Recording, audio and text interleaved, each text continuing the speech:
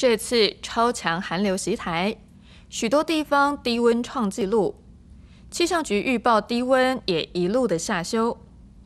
不过，专家认为，以目前的科技来说，七到十天，顶多只能够知道会有冷空气来报道，还是要大约三到五天之前才能够准确预测温度。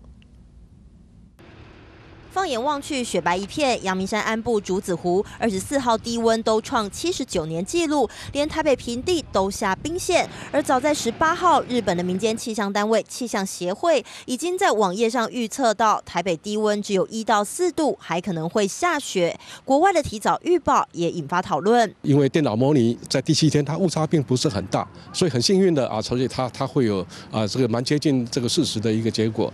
但是它也很可能会错的很离谱。前气象局预报中心主任吴德荣表示，日本气象协会预报国际天气是采用电脑运算，并没有人工校正。这回只是很幸运接近事实，但即使是最先进的欧洲及美国超级电脑，在七到十天之前也只能算出大趋势，时间要越接近才可能越准确。随着这个预报时间越接近的时候，确实对寒流的强度跟它的威力，确实是可以掌握出来。